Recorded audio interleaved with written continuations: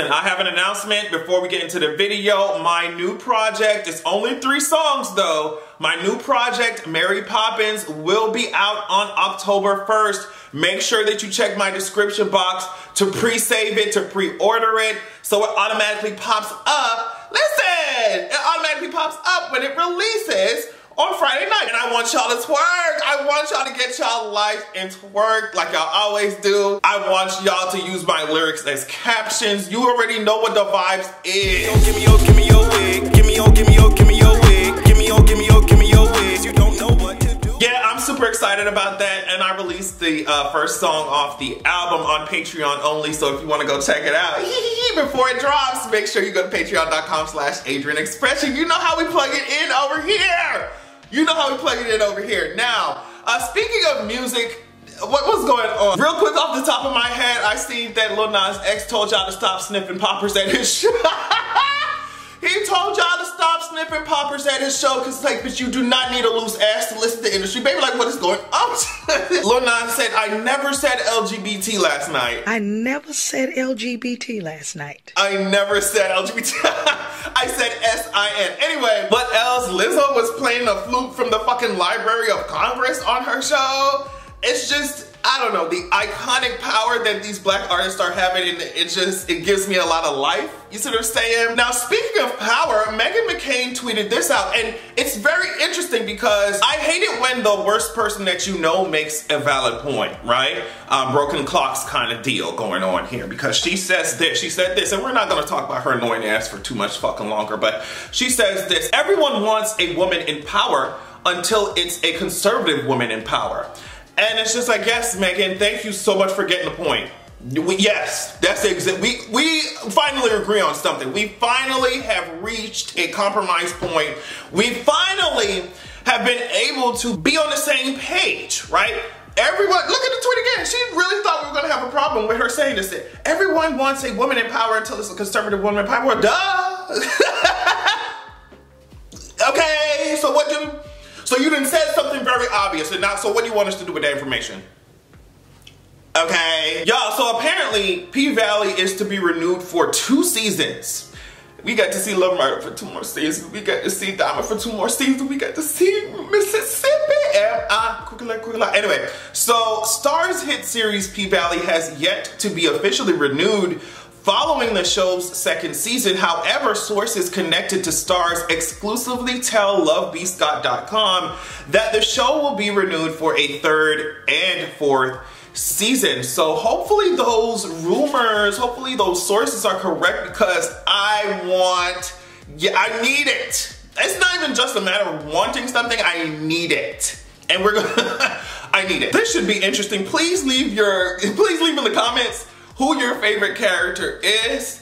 Um, I feel like I'll be able to judge your personalities based off of who you pick. Cause if I see any, cause if I see any y'all talking about Autumn Night, we gonna have to have a long chat. I'm gonna have to, I don't know, I'm, you're gonna be reported. I don't know if I have to call 911 in order to get an ambulance over here or over there to where you at. If you choose Autumn Night's boring ass, don't nobody, better not pick no Autumn Night in my fuck. I better not see Autumn Night in my goddamn comments, bitch. Cause I don't even want to see her ass on the fucking pole, bitch. Are you serious? Get her out my face. And she tried to fucking sell the pig off. Like, come on. If y'all pick Autumn Night. So don't ask me the context of this interview, cause child, I have no idea. Like, bitch. I have no idea. I no idea.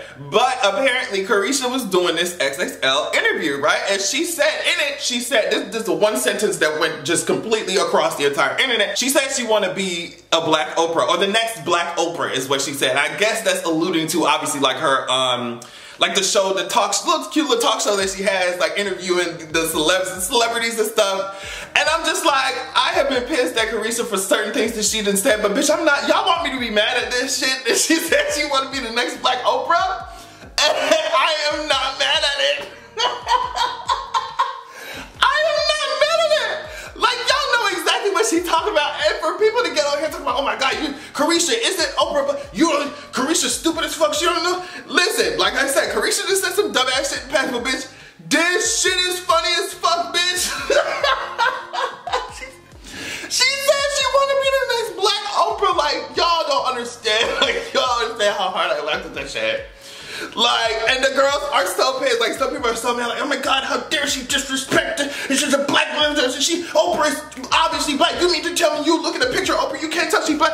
Bitch, if you don't get it, just move out the way, girl. Because I, I'm telling you, when I saw that shit, Oh my god, oh my god. I'm not gonna get into more detail on that shit. I'm not gonna be describing why I feel the way I feel.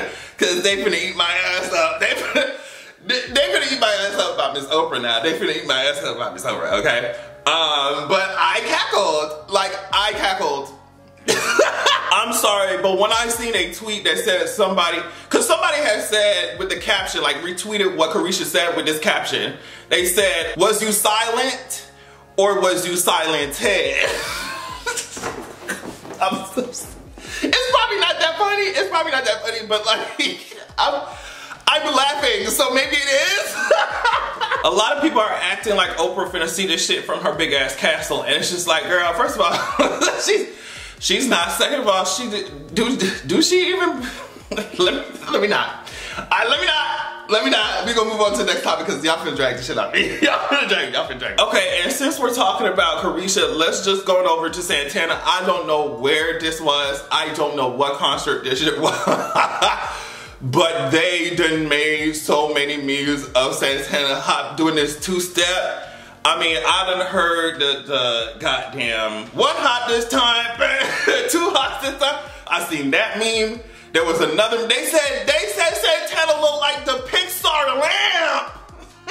and they edited that shit, bitch. I'm, yo, I don't know what's going on this week. I don't I don't know what's going on this week. That shit had me fucking like I was like, yo, the internet is absolutely crazy. The internet is, is crazy. Like Santana hopping up and down on that fucking uh, that Pixar logo had me. I'm telling you, I'm telling you. Yo, so I, I be wondering, cause let me tell you something. The few times I've been on stages, right? I, don't remember doing certain motions or doing certain actions. It, and I'm not on nobody's big ass stage, right? It's just very much cute little audiences, not no big ass arenas. So I can't even imagine the adrenaline that like overcomes your body when you're doing, when you're performing. And then like, I, I really, like watching yourself back doing certain things, you're just like, how? how did I even get to that point? How, how, did that happen? So I would love to see like, like just people in general, like performers in general, their reaction to some of the things that they do on stage, and if they ever considered that some of the shit would become a meme, because I was crying. I'm, sorry. So Rihanna posted this on her Instagram, just basically confirming that she will be performing at the Super Bowl halftime show.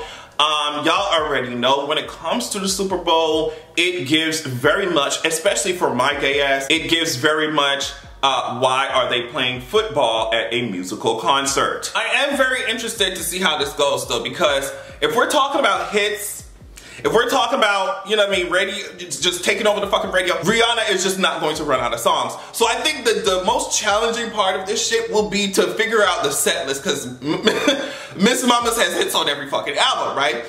I just want to know who the guests are going to be because I feel like you got to bring out guests. Like you got to, you had, like she has a cool ass um, collaborations and shit.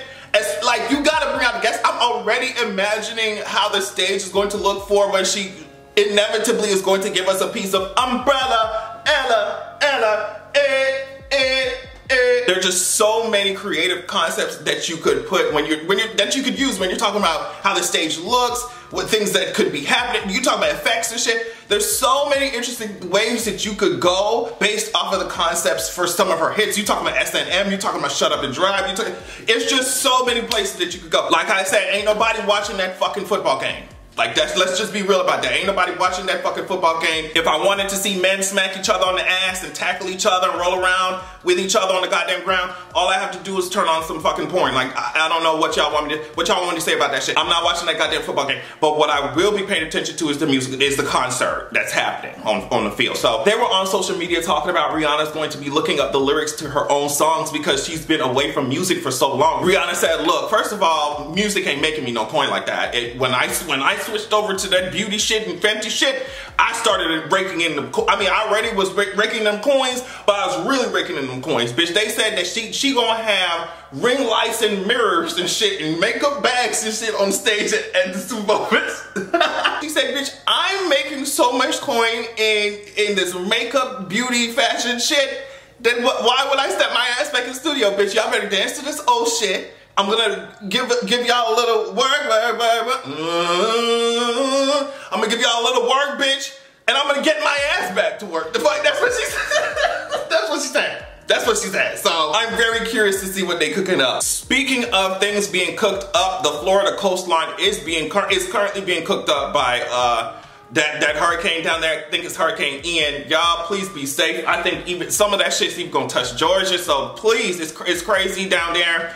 Um, and speaking of crazy ass Florida, Ron DeSantis, look at this shit. A new Ron DeSantis appointee has just resigned after photos emerged of him wearing a KKK outfit. DeSantis appointed him to run Florida's only predominantly black county. Gadsden County religious leaders are demanding a local commissioner and Governor Ron DeSantis uh, come forward to address allegations that the commissioner resigned last Friday after a photo surfaced reportedly showing him wearing a KKK robe and hood at what could have been a Halloween party years earlier. So his name, I guess, is Jeffrey Moore. He's a Havana resident and he just abruptly resigned after the photo started circulating. DeSantis appointed him in late July, so it was only a couple months. and he left. Three years ago, though, another DeSantis appointee uh, resigned from office after a similar incident involving a leaked photo. Michael Ertel the Secretary of State resigned after photos emerged of him posing as a Hurricane Katrina victim in blackface years earlier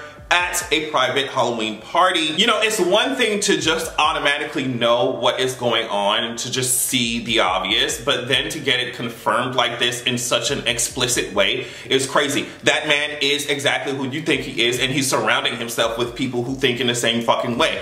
And it's just, and they, they know who these people are when they appoint them, and they, and DeSantis appointed this motherfucker to a predominantly black fucking county. They know exactly what the fuck they doing. And then there was this whole like trafficking scheme, weird thing going on with asylum seekers that Ron DeSantis apparently orchestrated. It's just fucking terrible. So yeah, that's the one political headline that like I noticed this week because honestly I've been avoiding all that shit. Just been avoiding that shit. So yeah, that's all I want to talk about. Thank y'all so much for checking out the video. Love you so much. And make sure that you have a good goddamn evening. Hey, hey, hey, Mercedes. Mercedes. You can take my soul, just let me be first lady. First lady. But I won't sacrifice this. this